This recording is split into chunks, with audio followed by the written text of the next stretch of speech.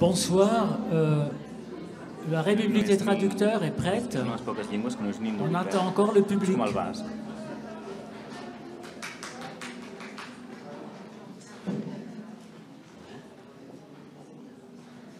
Republik der Übersetzerin ist bereit. Wir warten noch aufs Publikum.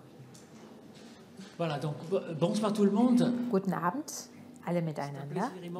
Wir freuen uns sehr, le troisième volet de la Ré- République des traducteurs pour euh, die dritte Sitzung Bobas, zu halten mit Constantin.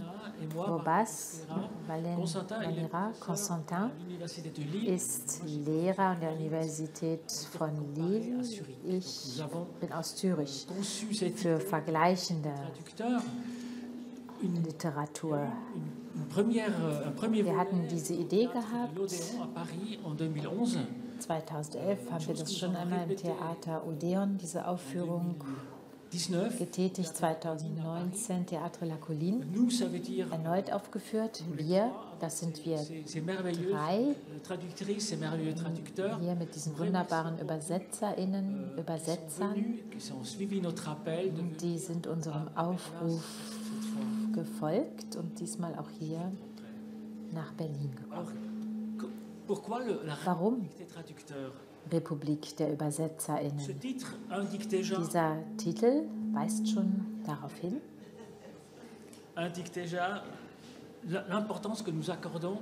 wie wichtig die Übersetzung für uns ist. Da geht es um den Kontakt zwischen Sprachen und Kulturen und das Ganze erhält auch eine politische Dimension. In der Zeit der Globalisierung, Raum zwischen den Sprachen, die Hegemonie der Welt, alle Sprachen sollen mit äh, da aufgesogen werden, die Kulturen, alles soll übergehen in das Global English.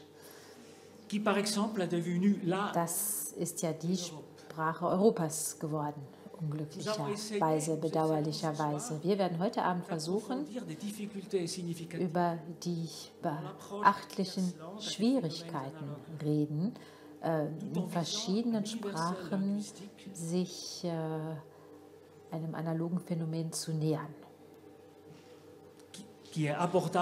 Also zu schauen, euh, wie das geht, sich diesem Phänomen zu nähern, das geht nur dank der Leistung der ÜbersetzerInnen. Nur so kann man sich dem Fremden nähern. Wir werden zusammen über die Probleme sprechen, die entstehen, wenn man sich die Texte von Valère Novarina anschaut. Und wir überlegen uns, was ist denn diese Sprache der Menschen? Zwölf ÜbersetzerInnen waren Ce soir, nous zu avons invité donc six Gange. traductrices et Also nur sechs wurden heute Abend eingeladen. Zwei Texte haben sie erhalten. Und Konstantin wird sie nun vorstellen und auch diese beiden Texte, die ausgewählt worden sind, vorstellen. Guten Abend, alle miteinander. Also wir haben hier diese einzigartige Übung, Sie werden das sehen. Sie werden hier etwas dazu hören. Was haben wir hier genau getan? Ähm, Es wurde hier schon gesagt, Theatre de la Colline haben wir das schon aufgeführt. Auch da gab es eine Aufführung von Valère Novarina.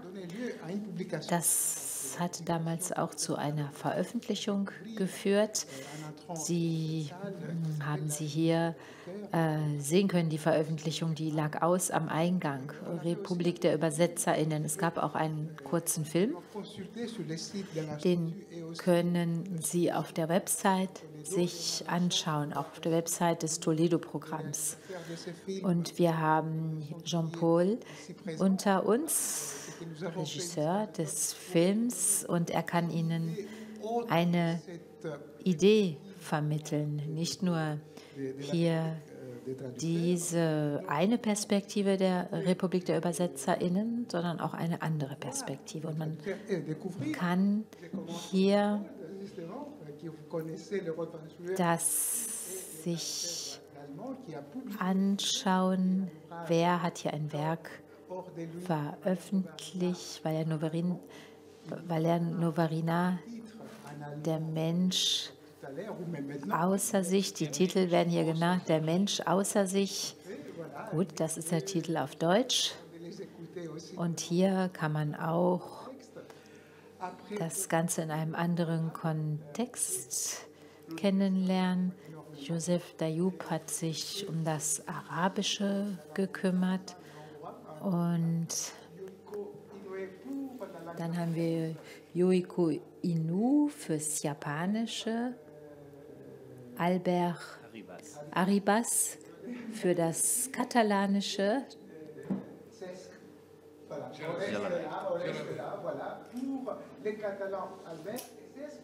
und hier Albert kehrt uns den Rücken zu. Hier wird erklärt werden, worin genau die Aufgabe bestand. Jedes Mal. Es gab immer dieses Konzept, das Grundprinzip, das Hauptprinzip. Das hieß, es ist hier Philia, ein griechischer Begriff. Das heißt Liebe. Alles, was uns hier vereint, ist der Begriff der Liebe im Werk von Valère Novarina, die Möglichkeit, das Theater zu übersetzen. Es gibt verschiedene Definitionen für ein und dieselbe Sache, fürs Theater, wie es im Raum auftritt, Übersetzungen von Valère Novarina. Das ist Übersetzung, Leidenschaft für die Sprache. Und bevor wir beginnen, haben wir hier zwei Auszüge ausgewählt. Das wollen wir im Vorfeld erklären. Hier aus einem Arbeitsbuch.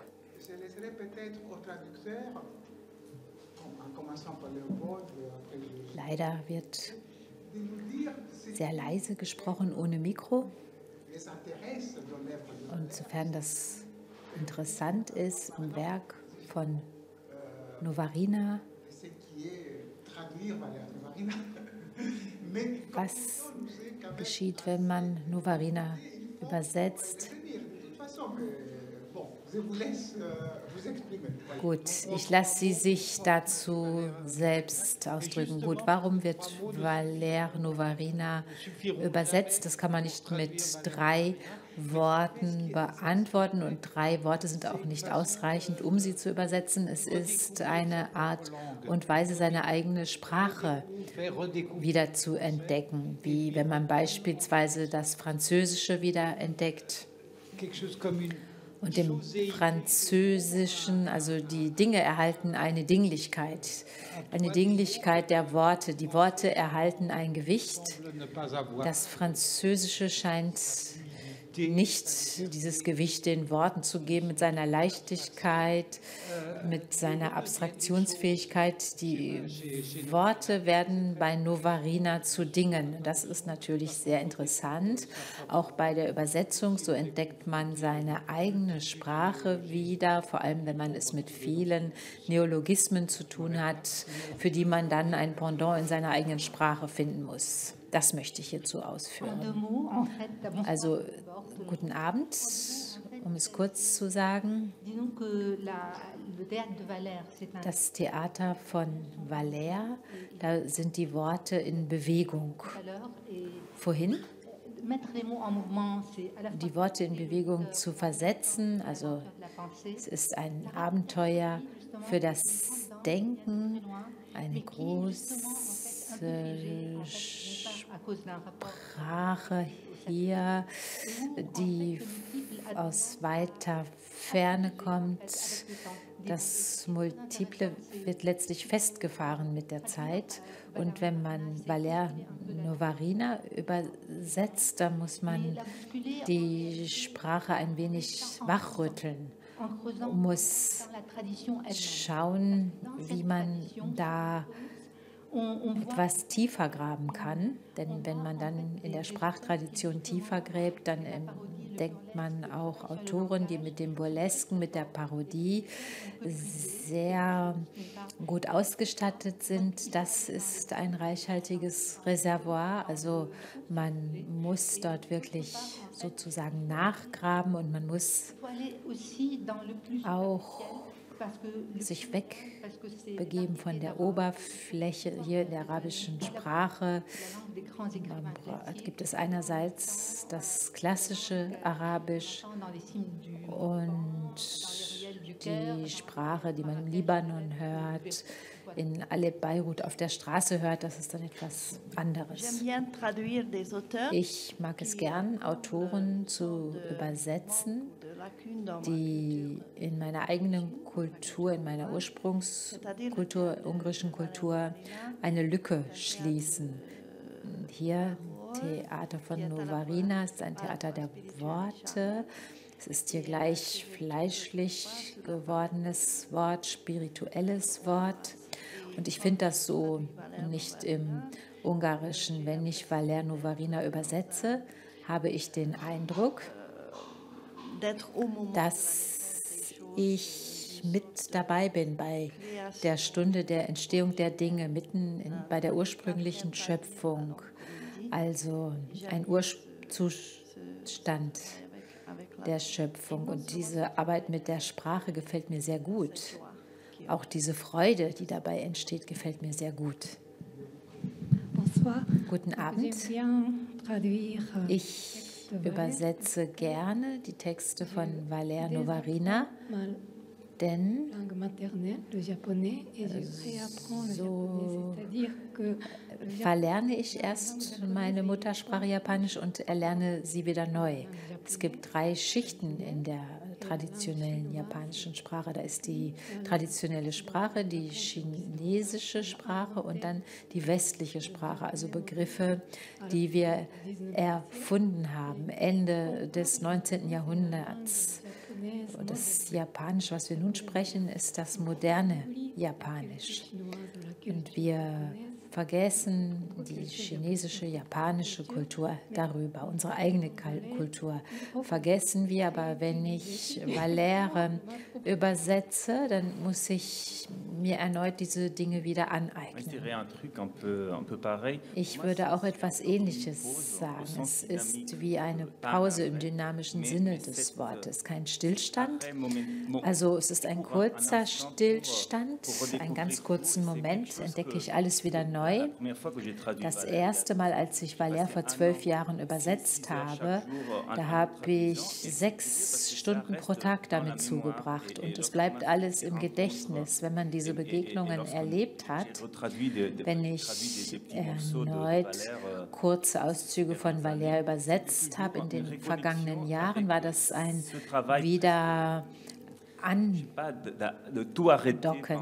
Ich habe nicht alles liegen lassen. Ich hatte jetzt erneut die Möglichkeit, die Sprache wieder zu ersetzen und auch auf ethische Art und Weise.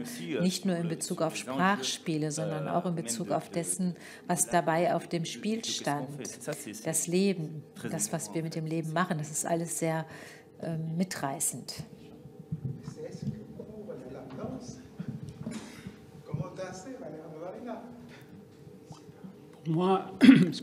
Was mich betrifft, Entschuldigung, ich spreche nicht sehr schön, sehr gut Französisch tanzen. Das ist den Körper ähm, mit Worten, Geist füllen. Dann äh, bin ich selbst erfüllt, erfüllt von Worten. Es gab immer die Träume, es gab immer die Macht des Wortes in mir. Und für mich das Wort ist eine Choreografie, eine reale Choreografie für ein Volk. Wenn ein Volk die Choreografie nicht mehr tanzt, dann verschwinden die Worte. Und auf diese Art und Weise habe ich Valère entdeckt. So war meine Lesart. Ich habe dort diese Geräusche gehört. Ich mag gerne Die- diese Inspiration, die sich daraus ergibt.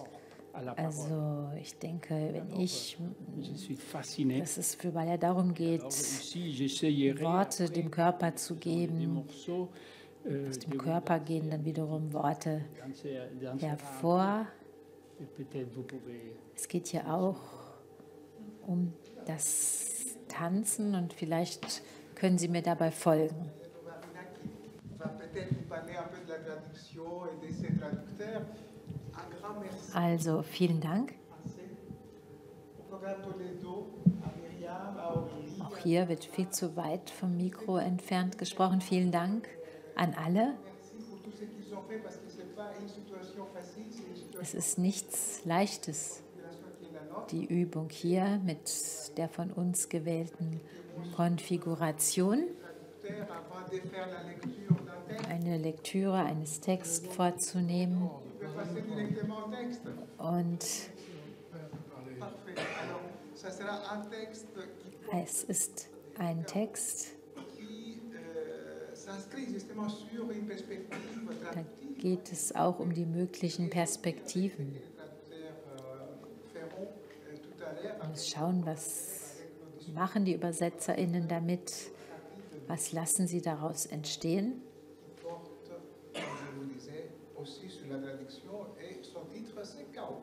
Und Oui, le titre, Titel hier après, une- après heißt une lecture, Chaos. Es gibt erst eine Lektüre von Rabelais. soudain, la mer commença à s'enfler et tumultuer du bas abîme.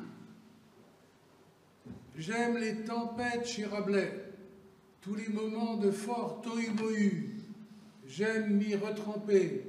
Il me rappelle que ma langue, que j'ai à désapprendre, réapprendre et oublier tous les jours, que je n'ai jamais possédé, ce français qu'on dit parfois inaccentué, raisonneur et guindé, est une langue très invective, très germinative, très native, très secrète et très arborescente, faite pour pousser.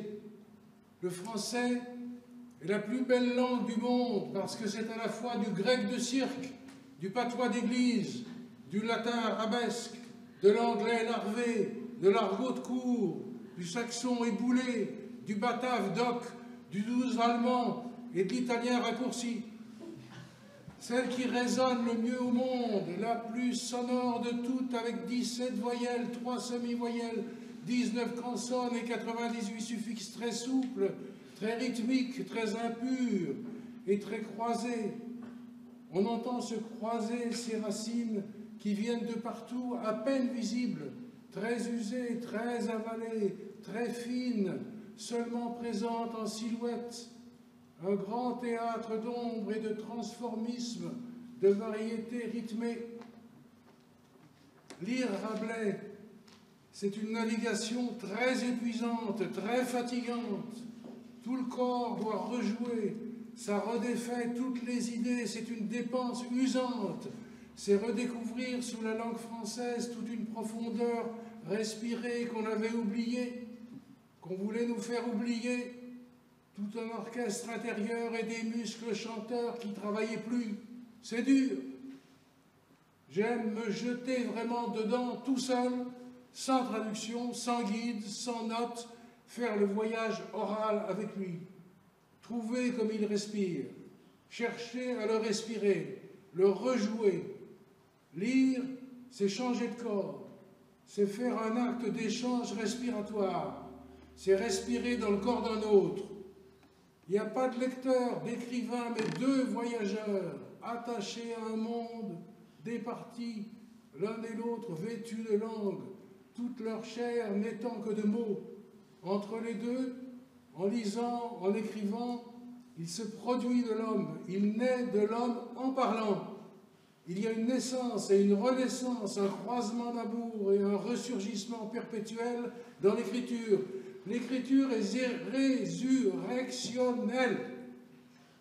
Rabelais entraîne très loin, très en arrière, très en avant de notre actuel français littéraire plat, linéaire B, très loin de cette petite langue française guindée de la radio qui est comme une petite bourgeoise qui s'étrique, un pauvre petit idiome laïque, un espéranto de plus en plus étroit, une langue qui perd chaque jour au moins un son, une langue de dictée, une langue pour des sourds, pour des chanteurs cul pour des danseurs seulement bicordes, français civique, médiatique, morse, inodore, plat. Une langue de sondés, de dicteurs dictés, de porte-mots, pas d'animaux comme on devrait. Car ce qu'il faut, car ce qu'il faut qu'on entende quand on parle, c'est que ce sont encore des animaux qui parlent et que ça les étonne énormément. Il y a chez Rabelais, mais aussi chez La Fontaine ou Bossuet, ceci. Mais c'est quand même dans le quart livre de Rabelais qu'on entend le mieux que parler est vraiment catastrophique. Que nous ne sommes pas des sujets qui utilisent une langue outil ou des esprits ayant en son quelque chose à dire, mais des animaux redressés pour renaître en parlant. C'est des paroles que nous prononçons que la matière dont elle nous traverse, que tout dépend. Nous sommes dans les mots. Les mots sont à la fois la forêt où nous sommes perdus, notre errance et la manière que nous avons d'en sortir. Notre parole nous perd et nous guide. Rabelais mime la Bible et questionne la parole. Son livre est lumineusement incompréhensible. C'est un chaos très nécessaire aujourd'hui où il y a un mystère de la langue qu'on voudrait nous enlever. Nous sommes faits pour être un animal, des fils du son, nés d'une parole, appelés à parler, des danseurs nés, des appelants, et non des bêtes communicatives.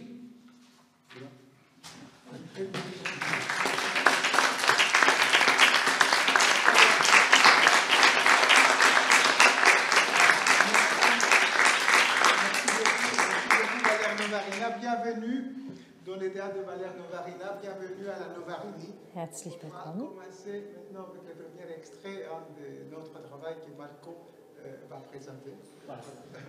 Leider auch ein Beitrag ohne Mikro. Euh.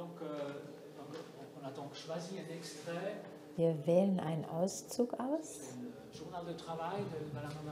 aus dem Arbeitstagebuch. Euh, die Arbeit wollen wir nachvollziehen, die Arbeit einer Übersetzerin, eines Übersetzers? Cher Enike, commençons par toi.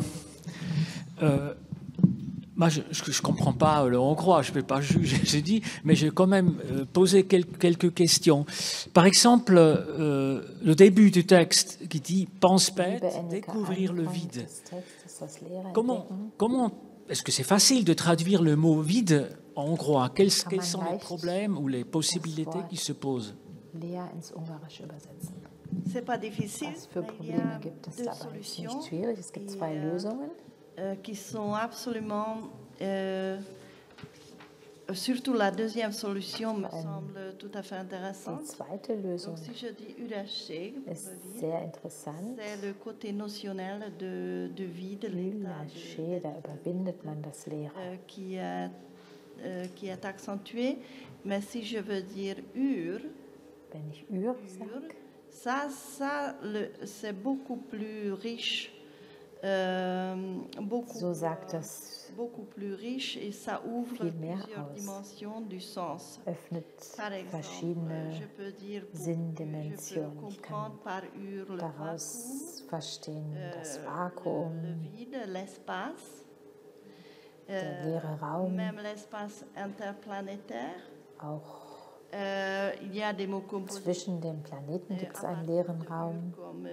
Ur, Daraus leiten sich Worte ab, die den Raum bezeichnen. Donc, euh, c'est pourquoi Fähigkeiten bemessen. Ur. Par contre, quand je dis découverte de Ur, dans ce cas-là, dans, le, dans Entdeckung spreche im Ungarischen, Euh, nehme ich dann Bezug auf den Raum zwischen den Planeten. Yrashik behält man besser bei. Il est peut-être aussi lié ou plus lié das hat vielleicht mehr damit zu tun, wenn ich in diesem Fall Lachik sage. In anderen Fällen bei Valer Novarina haben wir auch mit Ür übersetzt. Es gibt ein schönes Wortspiel rund um Ür. Das Leere, das alles beherrscht. Diese beiden oui, c'est remarquable parce que Möglichkeiten bestehen. on peut le concept théâtral de Valeriano Varina, nous savons que pour lui l'espace c'est un espace der Raum für Valeriano Varina à la notion du vide aussi. Il n'y a pas d'espace sans, sans, sans, le vide. Auf jeden Fall auch mit der Leere zu tun. Es gibt keinen Raum ohne Leere. Hier noch eine ergänzende Bemerkung zu. Das betrifft auch die anderen Sprachen. Valeriano Varina häufig das Lehre es wird wie ein Anagramm des Wortes Gott behandelt. Also es geht über das Lateinische, können wir da dieselben Ergebnisse erzielen in der ungarischen Sprache oder auch in den anderen Sprachen. Entschuldigung ist eine sehr komplexe, schwierige Frage, die wir hier stellen, wie wir das in anderen Sprachen hinbekommen. Also ja, Gott, Lehre. Man hat im Ungarischen nicht dasselbe Wortspiel, aber in diesem Satz mit Ü Ur, hier dieses gleichklingende Ur, Rinje, Subjekt. Das wiederum enthält einen Hinweis auf den Herrn. Ich kann hier diesen lateinischen Ursprung des französischen Wortes übernehmen. übernehmen. In La Colline hatten wir einen ganzen Tag Zeit. Hier haben wir nicht viel Zeit, wir müssen gleich weitermachen Yuriko, mit dem Japanischen. Yuriko, ich stelle dir dieselbe Frage. Die Lehre, euh, euh, diese drei Schichten, wie kann man das im Japanischen euh, übersetzen? Das Wort Lehre ist für das Theater von Novarina sehr wichtig. Mit Kum habe ich das übersetzt. Zwei Wörter gibt es, die Lehre im Japanischen bedeuten. Kul, das heißt auch Himmel. Mu, das heißt auch das Lachen. Mu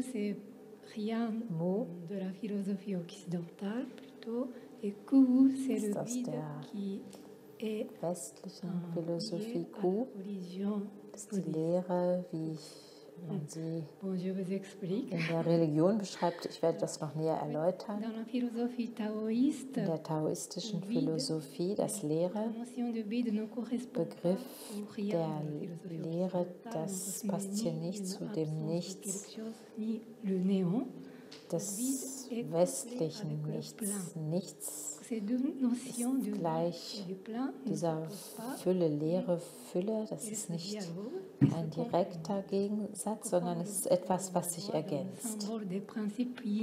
Also das Yin- und Yang-Prinzip, das Schwarze und das Weiße. Es sind zwei unterschiedliche Elemente, die jedoch voneinander abhängen. Lehre ist ein dynamischer Raum mit einem Potenzial. Darin kann etwas entstehen. Also bei Valère kann man das so sehen. Die Leere, dem steht die Fülle gegenüber, das Schwarze und das Weiße. Ohne die Leere kann die Malerei nicht handeln. Euh, Vielen Dank. Wir machen weiter mit dem Deutschen. Leopold. Tout de suite, euh, tu nous offres Du bietest uns sogleich einige Wörter zur Auswahl an. Kannst du das euh, kommentieren, die Beziehung zwischen Labeur, Labour, Arbeit, also hier auch eine Homophonie, ein Gleichklang zwischen diesen beiden Begriffen? Ja, da muss man immer gucken, was man findet. Wenn man Glück hat, findet man hier so ein Gleichklang, Labeur, Labour in der eigenen Sprache. Da hat man dann natürlich erst einmal mitgewonnen. Also Labeur ist harte Arbeit. Dann gibt es Plackerei, Rackern, Plackerei, also das Bearbeiten der Erde, Ackern, Bearbeiten der Erde, Ackerei gibt auch, Labeur, Labour. Das ergibt eine Lackerei, eine Ackerei. Ja, ein Dankeschön an die deutsche Sprache. Vielleicht kann ich dir auch eine Frage stellen. Diese Texte, darin gibt es Neologismen, wie auch äh, hier bei Valère Navirina, also hier Chutier, wie konntest du da eine Äquivalenz für finden? Im Deutschen. Das betrifft auch die anderen Sprachen. Chutier, wie kann man da in den verschiedenen Sprachen etwas finden, das sich dahinter befindet? Ich weiß gar nicht. Ich weiß nur Valère, es ist nun mal ein Neologismus. Wie bist du damit um? Gegangen. Es ist ein substantiviertes Verb, das kann man auch im Deutschen gut machen. Chuter, stürzen, tomber, der Sturz. Wenn man das im Französischen ergänzt, dann ist es jemand, der hinfällt, wird aber so nie verwendet. Jemand, der fällt. Da musste ich sofort daran denken, dass das ein Beruf sein könnte. Jemand, der fällt, dann musste ich auch an den Geigenbauer denken, Luthier, auch das ist ja ein Beruf. Ich habe also nach einem möglichen Beruf gesucht, ausgehend von der Wurzel des Wortes Stürz, Sturz. Stürzer ist der, der Feller. Stürzner ist ein Wort, das es nicht gibt, könnte aber ein Beruf sein. Ein Kirschner exist, äh, existiert im Deutschen der arbeitet, bearbeitet das Leder. Chutier ist der Stürzner geworden. Das Deutsch hat viele Postfixe, Präfixe, um daraus Worte zu bilden. Man kann Neologismen bilden. Es gibt immer eine Wurzel, wie im Französischen, und es gibt Präfixe, Postfixe, um das zu verändern. Also ab der Wurzel, der Wurzel ist etwas, das man kennt, das erinnert an ein Wort, das man kennt. Dennoch ergibt sich daraus ein Wort, das man noch nie gehört hat. Ich weiß nicht, ob es stimmt. Trouvert sowie Troubadour, Trouvert. Auch das gibt es. Trouvert. Trouveur. Ach ja. Auch hier eine Substantivierung habe ich im Deutschen auch gemacht. Der findet. Was habe ich denn damit nochmal gemacht? Muss ich nachschlagen. Sicherlich Finder habe ich daraus gemacht. Das kam mir recht merkwürdig vor, euh, um daraus was zu machen. Es stimmt, Trouveur ist kein Wort, das ich verwenden würde, aber Finder ist normal. Die russische Kollegin hat auch von dem Spielkoeffizienten gesprochen. Es gibt Möglichkeiten, mit der Sprache zu spielen zu bestimmten Zeitpunkten, zu anderen Zeitpunkten nicht. Wenn es an einer Stelle passt, dann passt es und am anderen eben nicht. Euh, die Freude mit den Übersetzungen von Leopold, das haben Sie ja gerade gesehen, man entdeckt seine eigene Sprache damit. Also die deutsche Sprache kenne ich auch, als ich die Übersetzungen von Leopold gelesen habe, das öffnet die deutsche Sprache. Euh, Wir könnten hier noch ewig weitermachen. Kommen Sie morgen alle in das Haus der Dichtung, da können Sie anderthalb Stunden lang zuhören.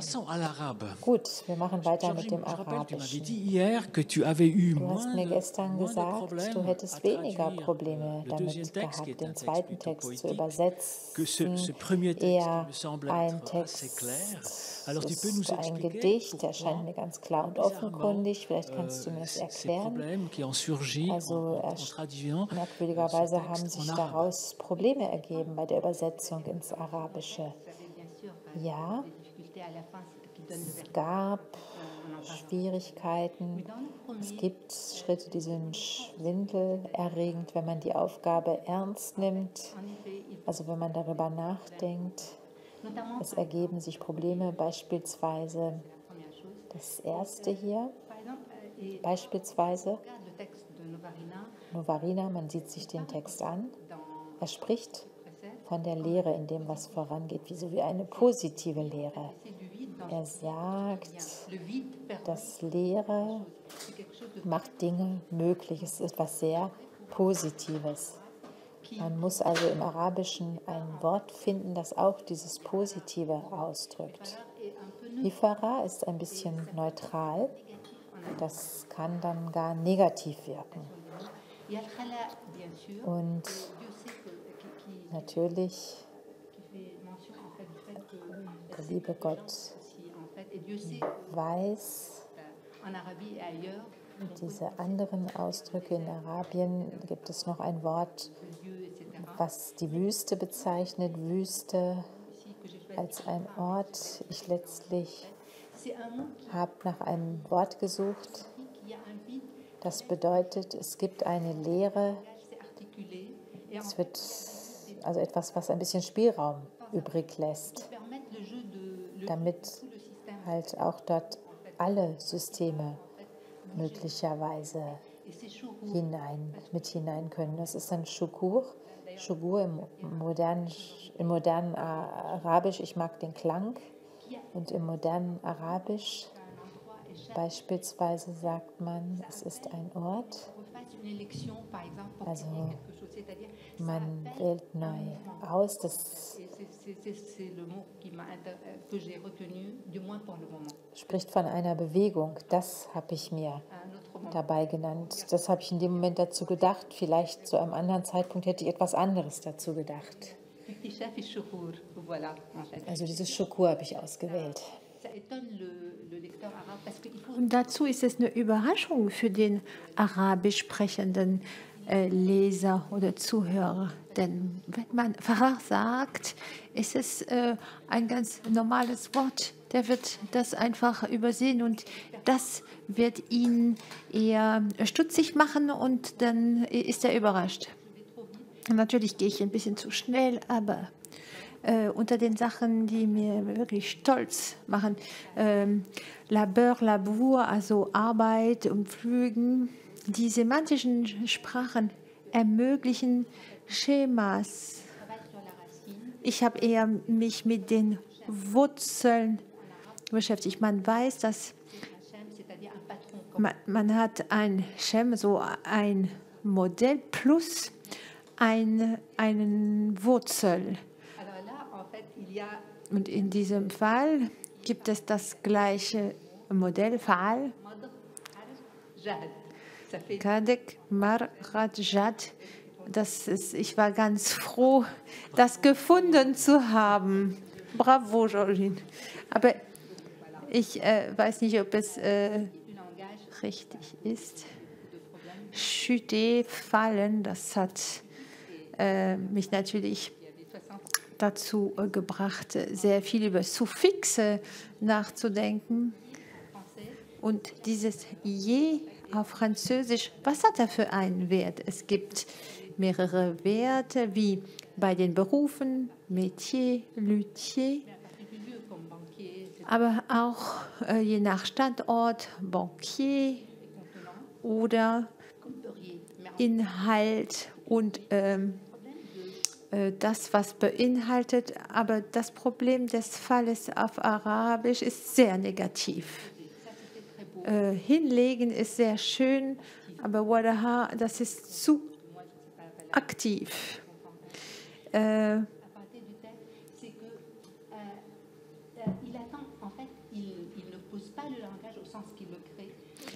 er, es ähm, wird gefallen praktisch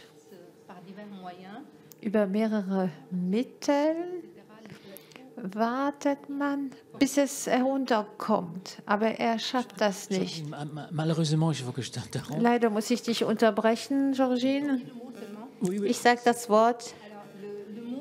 Das Wort, also, was ich gewählt habe, wenn jemand hier Arabisch spricht, Shur Quran, als der Koran äh, zum ersten Mal vorgetragen wurde, man sagt, er ist heruntergekommen. Und dann findet man wieder Wörter, die mit äh, dem mit Heiligtum zu tun haben. Oh, sehr schön, Georgine, vielen Dank. Wir kommen jetzt zum Katalanischen. Traduire? Äh, ist es ein schwieriger Text für dich gewesen und wie waren die Schwierigkeiten? Wie hast du diese Schwierigkeiten und Hürden überwunden? Also Katalan ist sehr nah am Französischen und Italienischen, aber manchmal ist es sogar das die Schwierigkeit, weil man sieht eine Lösung, aber die kann man ja nicht äh, leider benutzen, weil es nicht hundertprozentig dem Wort entspricht.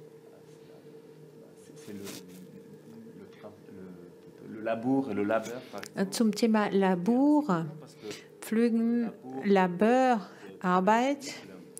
Und Labor ist eine anstrengende Arbeit, wenn man äh, Arbeit in Pluralform sagt, also Travaux. Das sind Schwierigkeiten, das ist, das ist auch mit Leiden verbunden. Und man hat, da hatte ich alle Substantiven in der Pluralform. Sowohl Labeur. Also für Arbeit. Und für Laborarbeit, äh, Ackern.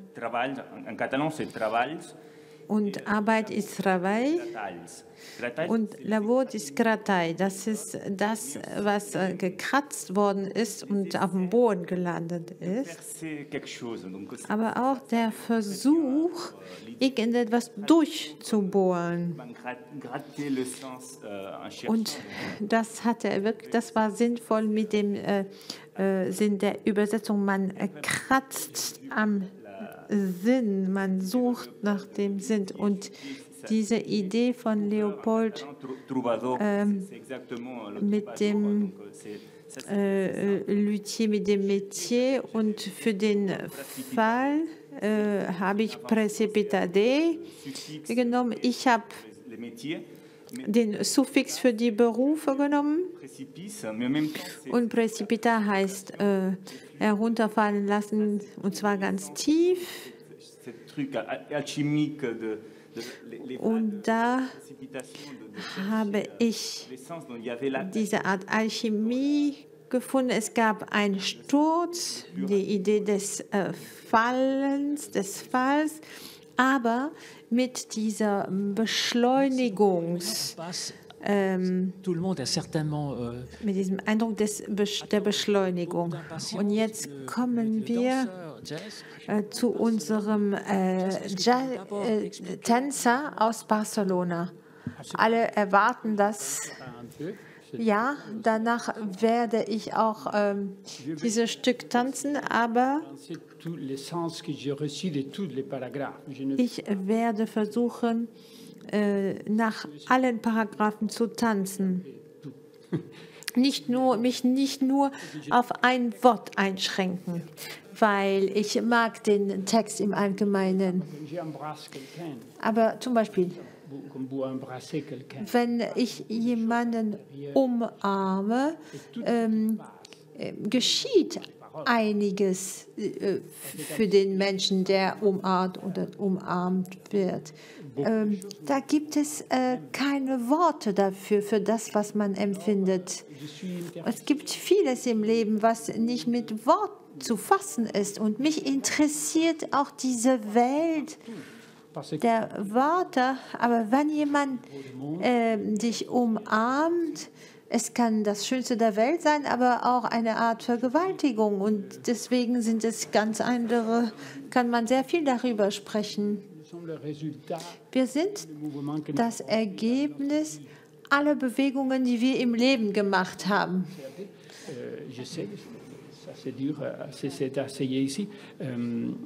Es ist ein bisschen schwierig, wenn man so lange gesessen hat.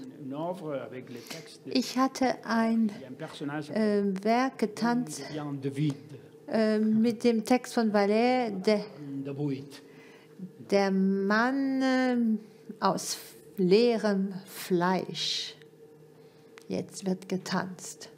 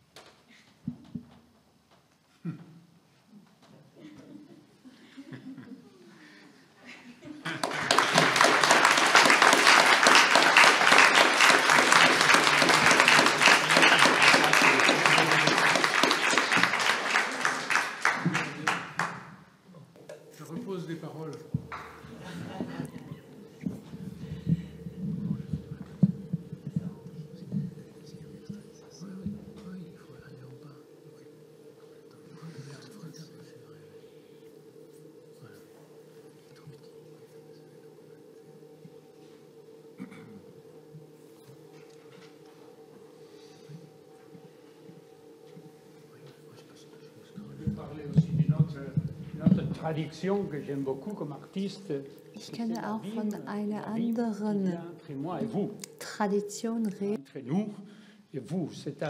Das ist die Abweichung, diesen Abstand zwischen Ihnen und mir. Äh, ich möchte gerne aufnehmen alle Wörter, die Ihnen durch den Kopf gegangen sind als ich getanzt habe. Sie sind die Eigentümer dieser Übersetzung. Das wäre interessant, das alles zu hören in einer Art großen Kakophonie.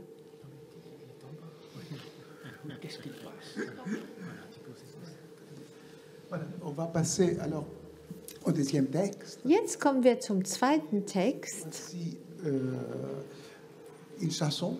Das ist jetzt ein Lied, das arme Lied, la chanson pauvre, der Mensch außer sich, l'homme hors de lui. Es wurde von Leopold ins Deutsche übersetzt und es wurde, wurde veröffentlicht gerade. Und morgen wird es eine Lesung geben dazu, das haben wir schon erwähnt. Dieser Text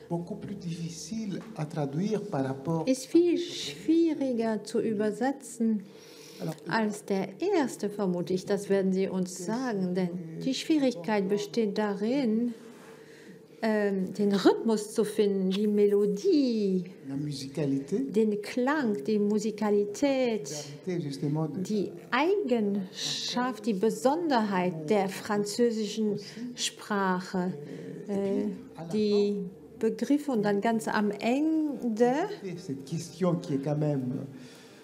kann man, ähm, muss man natürlich sich mit der Frage beschäftigen, diese zwei Versen, entre naître et n'être pas.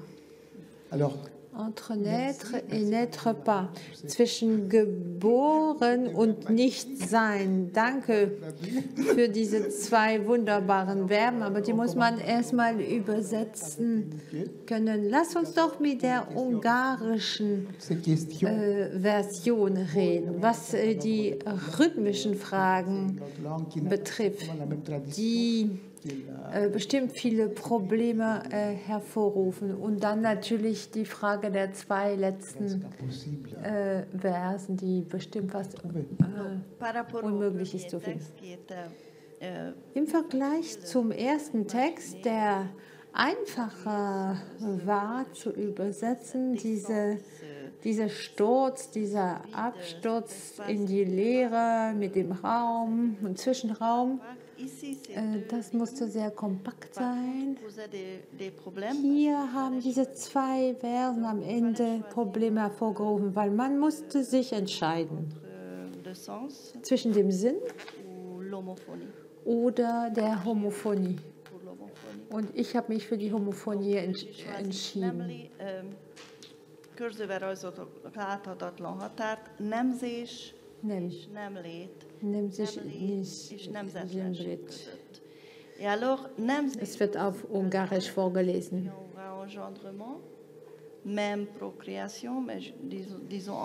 Hier gibt es ein Wort, was so Geburt äh, bedeutet. Euh, Erzeugung. Und in dem, in dem zweiten Vers habe ich wieder ein Wort genommen, was schaffen, das ist ein Neologismus. Ohne Erzeugung, ohne Nation, ohne Generation. Und dann habe ich mich mit der äh, ungarischen Etymologie beschäftigt, weil wenn man die Sprache spricht, macht man sich darüber keine Gedanken. Aber jetzt habe ich äh, recherchiert ähm, und ich habe die Herkunft des französischen Wortes gesucht. Genus generis. Genus generis. Nemzet, bedeutet Namzet auf Ungarisch oder Stamm, Völkergruppe oder Generare heißt erzeugen. Und das ist das Wortspiel, was ich hier benutzt habe. Und, und ich habe vergessen, ich habe Hamlet ähm, aufgegeben, to be or not to be. Ich habe nur die Struktur beibehalten, aber nicht den Sinn. Vielen Dank.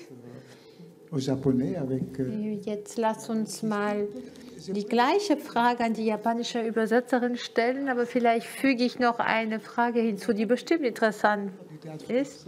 Im Rahmen des französischen Theaters haben wir das Wort Corde, Seil. Das ist äh, natürlich. Ähm, ähm, Je ne sais pas si cela existe. Aberglaube. Ich weiß nicht, dass es äh, im japanischen Theater das äh, Gleiche gilt. Ob man auch das Wort Seilkorde nicht im japanischen Theater sagen darf, weil es äh, Unglück bringt. Aber wie kann man eine Transgression vermitteln und übersetzen.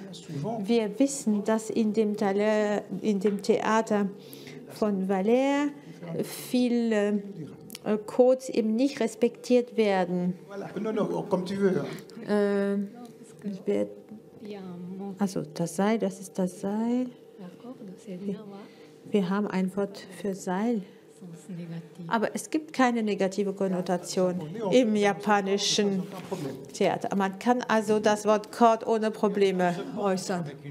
Aber man kann sich natürlich das Leben nehmen mit einer, erhängen mit einem Seil. Man kann sich eben nicht mit einem, mit einem Stück Schnur erhängen, aber mit einem Seil wohl. Aber das Wort Nava hat keinen negativen Sinn im Japanischen. Normalerweise ist es tatsächlich problematisch. Oh, un petit, un petit détail. Ein en fait, c'est tout ça c'est un portrait de mon professeur de mathématiques. Das ist alles ein Porträt meines äh, Mathelehrer in der sechsten Klasse, Herr Mamet. Er hatte ein graues Hemd. Er spielte Akkordeon. Où je äh, äh, einmal hat er entdeckt, dass ich ein bisschen geschielt habe während einer Hausaufgabe und er hatte gesagt, äh, äh, Novarina, äh, jeder muss äh, für sich selbst den Test schreiben. Und er hatte eine Schnur und er hat damit immer äh, Kreise gemalt. On dit, on dit un bout, on dit un, Ja, non, non, peut pas. Nee, im Theater darf man ja nicht das Wort sein. Nicht. Äh, in dem Wort Akkordeon gibt es natürlich auch das äh, Wort Korde. Und was ist mit den zwei Versen am Ende? Entre naître, oui, c'est la question de l'être qui m'a posé des problèmes. Das hat mir natürlich auch Schwierigkeit gemacht. Ich musste mich entscheiden. Uh, être étant de Heidegger, c'est traduit en japonais. Être est traduit en japonais. Von Heidegger gibt Sein und Zeit, Sonsei. 存在すると存在しない。非存在すると誕生しない。Bon, ça, on peut garder l'enjeu du texte, ça, ça marche bien, mais on perd quand même l'homophonie. Man hat vielleicht das Wortspiel, aber nicht mehr die Homophonie. Es gibt also kein Rätsel mehr. Das ist weniger interessant als der Text von Valère. Deswegen habe ich eine andere Lösung gesucht. Und da komme ich auf Shakespeare zurück. Sein oder nicht sein, sein oder nicht sein, das ist die Frage. Auf Französisch. Äh, leben oder sterben, das ist die Frage. Ich habe mich inspiriert von der Übersetzung von Shakespeare, das ist diese zweite Alternative. En français, bon, en japonais d'abord, c'est umareru to shinu, shinu to umarenai. Auf Japanisch. Ça devient entre naître et mourir, entre mourir et n'être pas.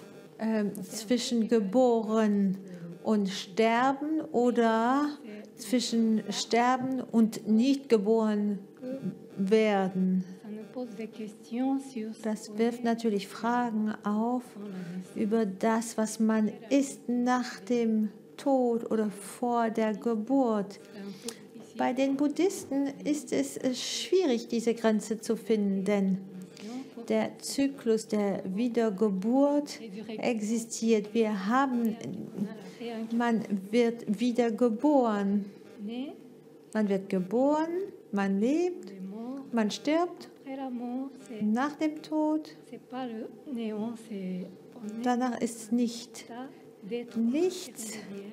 Man ist, man befindet sich zwischen Tod und Geburt.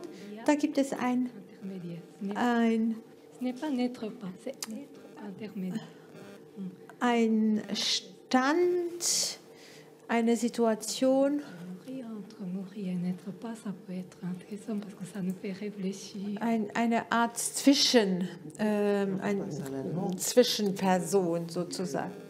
Und jetzt kommen wir auf die deutsche Sprache. Uns fehlt natürlich immer mehr ein bisschen Zeit. Wir haben die gleiche Frage, die gleichen Schwierigkeiten, äh, Sprachregister, äh, zwischen zwischen geboren werden und nicht geboren werden.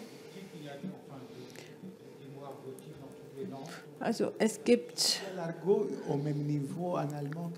gibt es Slang-Sprachen oder Umgangssprache auch in Deutsch? Ja, natürlich. Es gibt Wörter, die weniger literarisch sind und die eher umgangssprachlich sind, die man alltäglich benutzt. Pratzen äh, würde man aber nicht benutzen äh, im literarischen Bereich.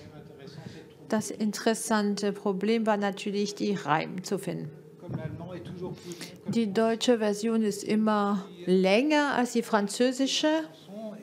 Ich habe das Lied zugehört und ich habe auf den Rhythmus ähm, übersetzt. Das ist eine, eine Verpflichtung äh, kurz zu bleiben. Diese Apokoptis gibt es nicht. Diese Ratte zum Beispiel. Si, meinem Besitz. C'est meinem Besitz. In meinem Besitz. Äh, anstatt in meinem Besitz zu schreiben, habe ich gesagt, in meinem Besitz habe ich abgekürzt, denn es erzeugt einen Rhythmus, der es ermöglicht, äh, das zu singen. Pas au même endroit. Non, non, mais, oui, mais, il faut mais disons, le, le, je pense, c'est sûr que le problème majeur est, est euh, trouver des rimes, c'est un jeu. Natürlich äh, ist das äh, große Problem, die Reime zu finden. Es ist natürlich ein Spiel. Manchmal gelingt es einem, manchmal nicht. Da hat es gut geklappt. Geboren werden oder nicht geboren werden. Äh, mich hat die Negation interessiert. Sein heißt äh, sein und Unsein wäre die negative Form von ähm, Sein.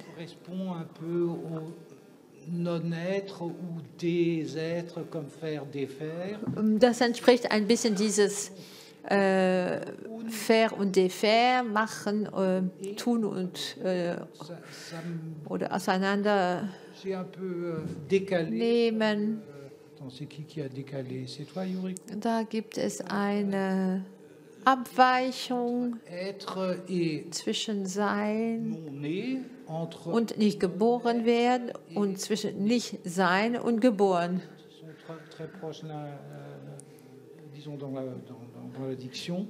Und und und sind natürlich werden natürlich ähm, sehr nah in der Aussprache. Am letzten Sein oder nicht Sein. Äh, am Hamlet wäre sei und nicht sein, aber da ist dieses Geboren, der Sinn des, der Erzeugung des Geborenwerdens ist nicht dabei. Man muss sich nun mal entscheiden. Ungeboren bedeutet also nicht geboren worden. Und das schien, erschien mir interessantes zu sein. Und wer unbedingt Shakespeare dabei herausfinden will, das äh, soll er frei sein, das zu machen.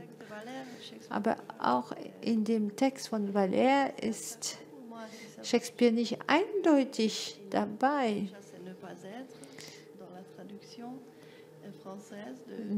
Ne pas être wäre die französische Übersetzung von Shakespeare.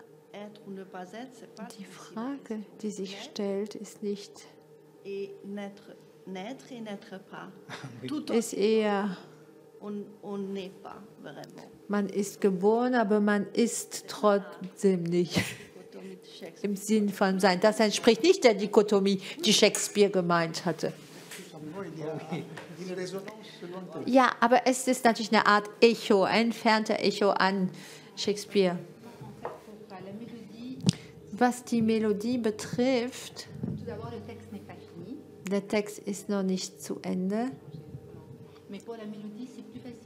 Für die Melodie ist es einfacher, weil wir haben diese äh, Schems. Man kann ziemlich schnell gemeinsame Rhythmen finden. Äh, wir hatten im literarischen Arabischen äh, das ist zwischen der Prosa und des, der Verben. Ich bin nicht sicher, dass es wunderbar ist, aber als Beispiel, es wird auf Arabisch gelesen. sont ouverts, Amal avec des A, si vous voulez. Amal et Wahdaha, vous voyez, c'est des A, alors que des, des I. Es wird auf Arabisch vorgelesen mit A-Öffnung und I am Ende. Für die, das zweite Problem, und was interessant ist, äh, ist das Spiel mit den drei Konsonanten J, R, H. Johr, qui signifie le réduit en fait. Parce que tout ça, c'est petit en fait. Et c'est. Das bedeutet alles klein.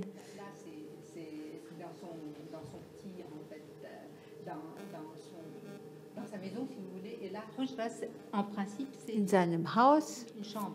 Und danach geht es nur noch um ein Zimmer. In Rajat heißt äh, ein bisschen sowas wie Lockdown. Das äh, betrifft alles im Prinzip ähm, äh, das Lockdown. Die zwei letzten Versen waren natürlich schwierig.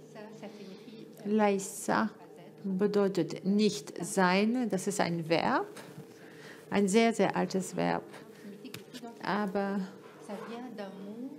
das kommt von einem positiven Wort, was Aisa heißt. Und das hieß sein, aber das wird nicht mehr benutzt im Arabischen. Es gibt Beina Alsa zwischen sein und nicht sein, also um nicht zu lange zu sein. Man kann geboren sein und trotzdem nicht sein. Ich glaube, das ist sehr wichtig im Leben. Im Leben existiert man nicht, auch wenn man geboren wurde. Man befindet sich zwischen dem Sein und Nicht-Sein oder dem Leben und Nicht-Leben. Und, und das möchte, wollte ich behalten. Also, das ist überhaupt nicht so schön wie die äh, Originalversion. Äh, n'être, n'être pas zweimal mit verschiedenen Sinnen. Ich spiele mit den La. La heißt Nein auf Arabisch. Es wird auf Arabisch vorgelesen. Aber ich bin nicht sicher, dass ich das beibehalten werde. Wir kommen jetzt zum Katalanischen. Donc, d'essayer que ich habe versucht, alle Reime beizubehalten. La rata de llavall, quin ball porta pel seu cau, un passatge o baixa pel garatge d'aquest catau, c'est-à-dire de, de also, ich habe versucht, eine Reimstruktur beizubehalten, die musikalisch klingt. Und im Katalanischen ist das schön. Sein, C, S-E-R, ser, und phonetisch Et savoir, c'est es auch Wissen. la même chose. Et es ist dasselbe. Joué comme c'est un truc ich acteur. damit gespielt. Il y, y, a une différence très subtile, es très gibt nuancée nur einen subtilen de Unterschied. Also entre dire euh, ne suis hängt von der Auslegung ab. Man kann sagen, ich bin nicht, ne sais pas, und ich weiß nicht. Es ist sehr dicht beieinander.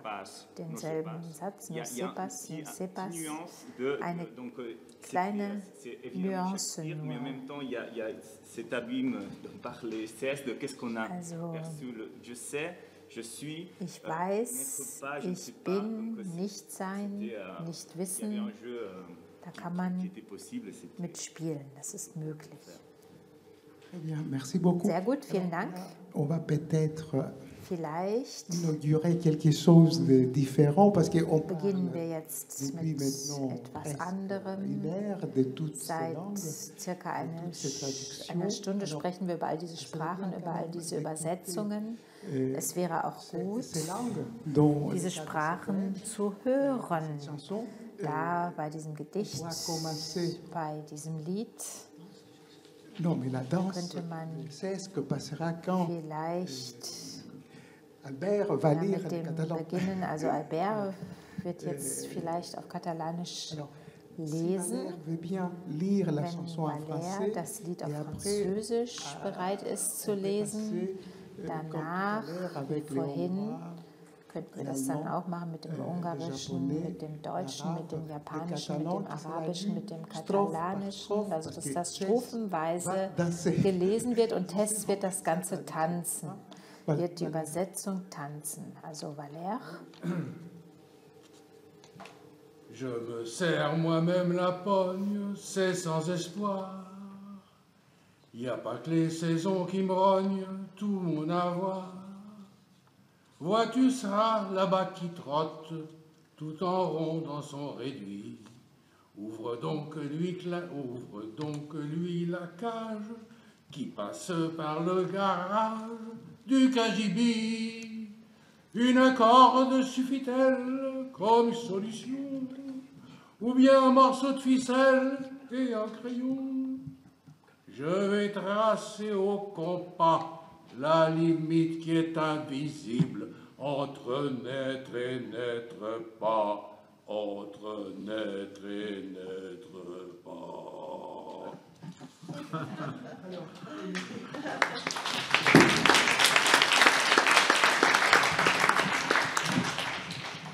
Ágról szakaddal. Önmagam kezét fogom, ez reménytelen, nem az idő csupán, mi rágja mindenem. Nézd a patkány tiszkol el, hazudulj a mélybe, megnyitod az ajtaját, vagy te menekülsz a kamrádból a garázson át. A kötél elég? Megoldja? Vagy egy vékony cérnaszázs, egy ceruza? Körzővel rajzolok láthatatlan határt, nemzés és nem lét, nem lét és nemzetlenség között. japonais. Désolé, je sais pas chanter. 僕は自分と握手する。希望なんかじゃない。希望だけじゃない。僕を削り取るのは前妻さんを削り取るのは。見てよあのネズミ。あっちにちょろちょろ部屋の片隅ぐるぐると。それ檻を開けてやれ。じゃなきゃ車庫を通るぞ何度から。縄一本で足りるのか解決策に。それとも紐一本か。それに鉛筆一本。描いてみようコンパスで。目には見えない境界を。生まれると死ぬ。死ぬと生まれる。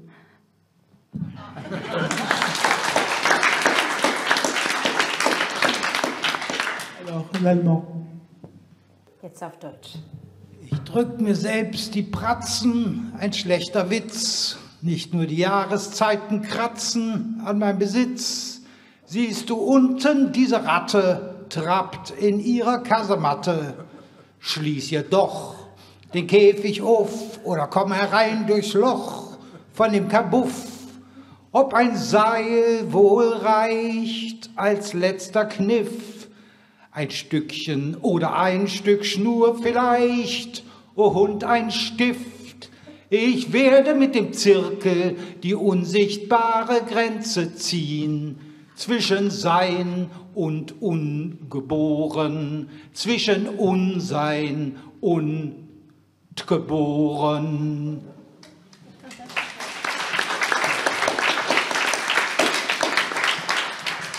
Alors, l'arabe. Alors, arabisch. je vais essayer.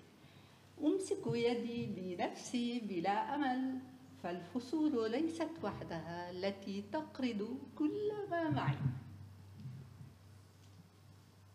هل ترى هذا الجرز يخب خبا هناك راسما دوائر في جحره يفتح يفتح له القفص أو بر من خلال كراج الحجرة الضيقة أحبل يكفي كحل أم خيط قصير وقلم رصاص؟ سأرسم بالبركار الحد غير المرئية بين أن تولد وألا تكون بين ألا تكون وألا تولد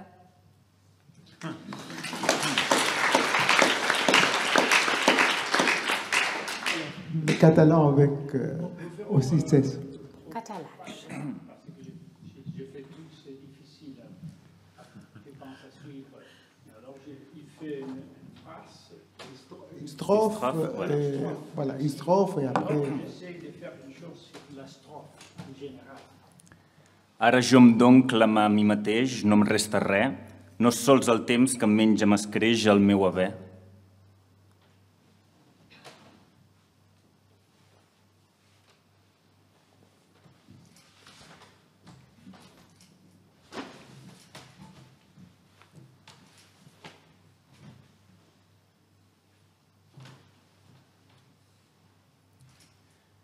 Veus la rata d'allà avall quin ball porta pel seu cau? Doncs deix-li algun passatge o baixa pel garatge d'aquest catau.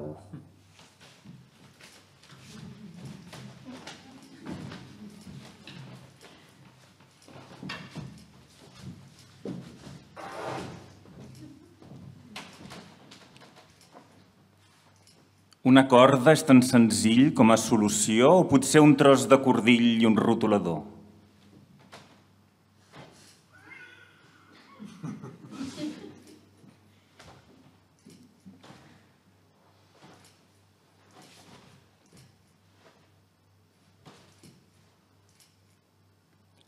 Ara traçarem compàs aquell límit invisible entre ser i no ser pas, entre ser i no ser pas.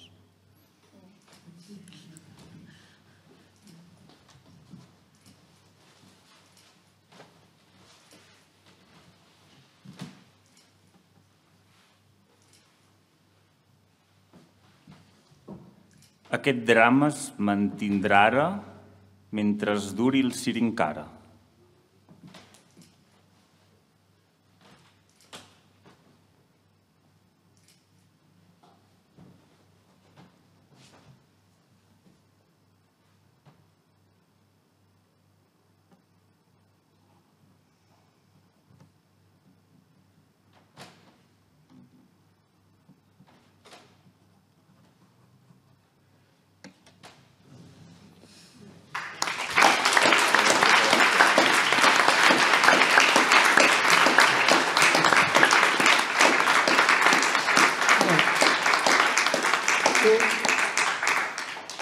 Beaucoup. Et pour terminer cette Vielen séance Dank. avec le Und um hier zu enden heute ein euh, zweiter Auszug. Wir haben eine Lektüre geplant, simultane Lektüre, alle Sprachen gleichzeitig, alle Babelsprachen, die wir hier vereint haben. Also los, Sie können beginnen, alle gleichzeitig Ihre Übersetzung. Deux, Ara jo trois. em dono clamar a mi mateix, no em resta res. No sols el temps que menja m'escreix el meu haver. Veus la rata d'allà avall, quin ball porta pel seu cau? Doncs deixi-li algun passatge o baixa pel garatge d'aquest catau. Una corda és tan senzill com a solució, potser un tros de cordill i un rotulador. Ara traçarem compàs aquell límit invisible entre ser i no ser pas. Entre ser i no ser pas. Aquest drama es mantindrà ara mentre es duri el cir encara. Ungeboren, zwischen und Ungeboren.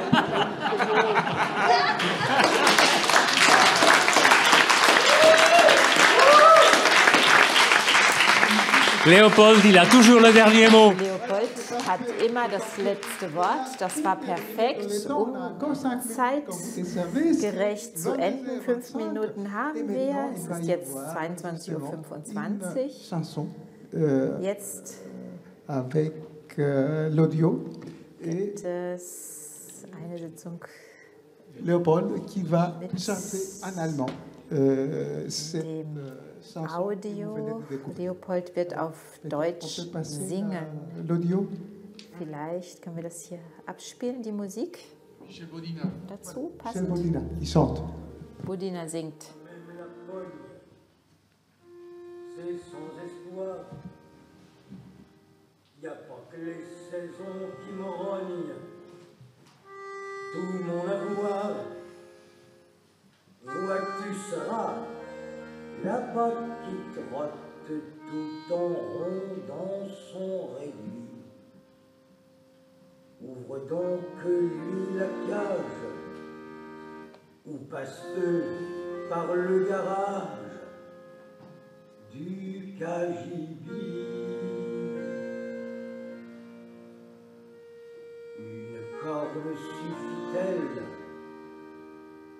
Comme solution un morceau de ficelle et un crayon. Je vais tracer au compas la limite qui est invisible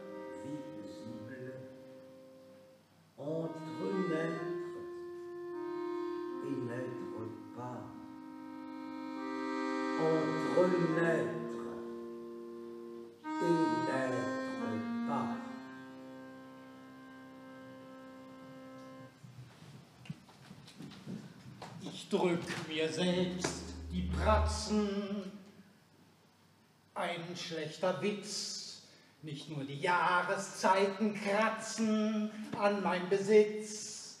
Siehst du unten diese Ratte, tragt in ihrer Kasematte. Schließ ihr doch den Käfig auf oder komm herein durchs Loch von dem Kabuff. Ob ein Seil wohl reicht als letzter Kniff oder ein Stück Schnur vielleicht und ein Stift.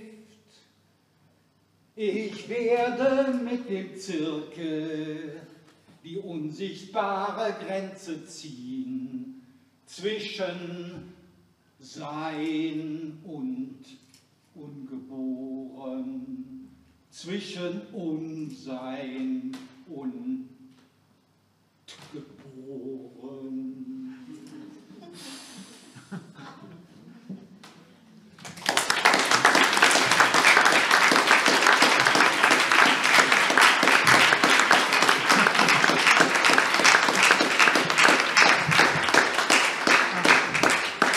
Un grand merci, un grand merci à tout le monde, Dankeschön. à vous aussi. Et on laisse peut-être la parole à Valère Novarina s'il veut Valère dire euh, les derniers mots de cette euh, Alors. République des traducteurs. Oui, alors, vive les langues